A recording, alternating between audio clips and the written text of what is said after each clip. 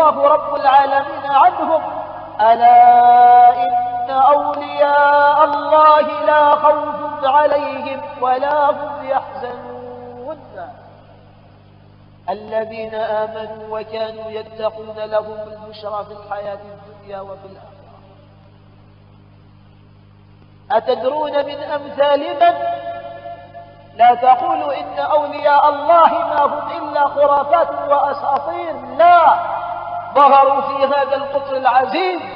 أئمة حفظ الدين الحنيف بهم من يوم قيل لدين الله أديان.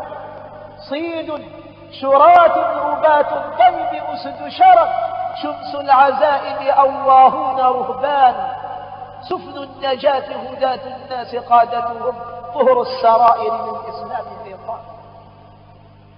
تقبلوا مدح القرآن أجمعها إذا استحق مديح الله إيمان جدوا إلى الباقيات الصالحات فلم يبثهم في التقى سر وإعلان على الحنيفية الزهراء سيرهم والوجه والقصد إيمان وإحسان. رضوا ببلغة محيار على حذر منها كأنهم بالبلغة الثاني مضوا وآثارهم نور وذكرهم رحمة ومضجعهم روح وريحان. وقف على السنة تأمل. وقف على السنة البيضاء سعيهم وفي الجهادين إن عزوا وإن هانوا. ما زايلت خطوة المختار خطوتهم ولا ثنى عزمهم مس وشيطان. فجاهدوا واستقاموا في طريقته عزومهم لصروح الدين أركان.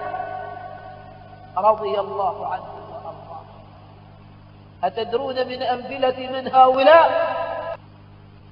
الإمام محمد بن عبد الله الخليلي. أسمعتم به أم لم تسمعوا؟ لا. هذا الإمام كان في التواضع آية. من علمهم هذا؟ من أين تعلموا هذا؟ رسول الله صلى الله عليه وسلم. كان الإمام محمد بن عبد الله في التواضع آية. وكان أحد الرعية يحسد الإمام ولا تعجبه سيرته بين الناس إذ أنه متواضع غير التواضع.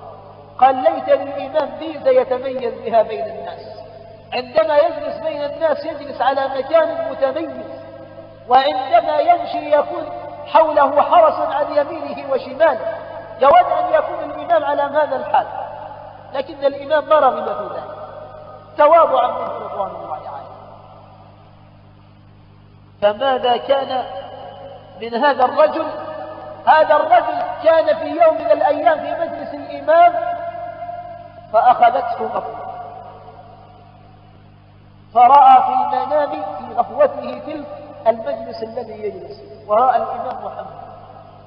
ورأى سحابة من نور تأتي على رأس الإمام وتأخذ الإمام وتنهل فاستيقظ هذا الرجل ونظر إلى الإمام فما وجد الإمام. فقال أين الإمام محمد؟ قالوا ذهب لحاجة وسيعود.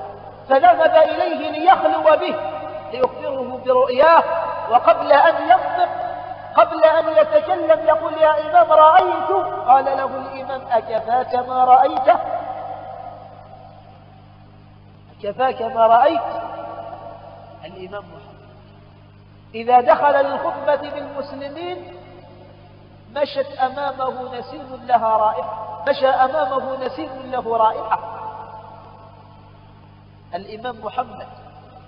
يقول أحد الصالحين الذين عاصروا الإمام محمد.